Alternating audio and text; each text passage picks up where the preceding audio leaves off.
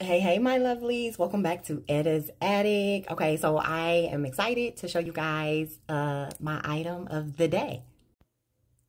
Okay, so as I stated in a previous video that I will start having an item of the day. Okay, this is going to sit on my um my altar over there. Um, I just love, love, love the sound of water. Okay, and this isn't the first one that I've had. I have a little Buddha one, but I decided to pack that one away. And I want to try this one. Um, I'm going to put some batteries in it. I'll be right back. Okay, so it looks like this. Oopsie. Comes with some rocks, uh, but I probably will not use those. Okay, so I changed my mind about the rocks, but here you go.